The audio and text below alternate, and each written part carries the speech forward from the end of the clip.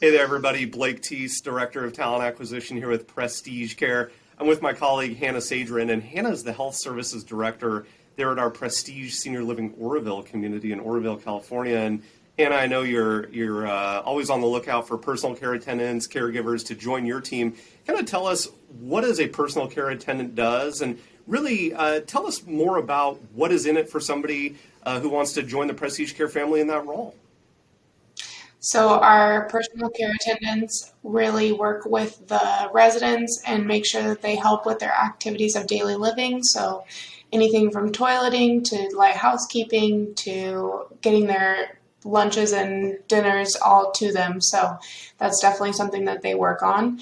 Um, we have a great team, and so we work really well together. And we hope that everyone has a you know a good experience and we all work well and have fun together. Yeah, no doubt, no doubt.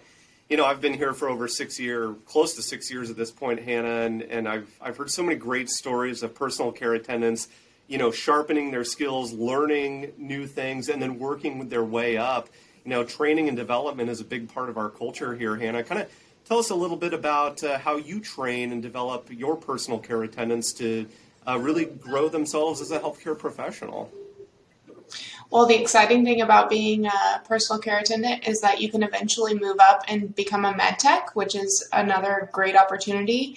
But we really work well on, um, you know, personal training and group training, and we try and bring different avenues in so that we can really work on our whole training together.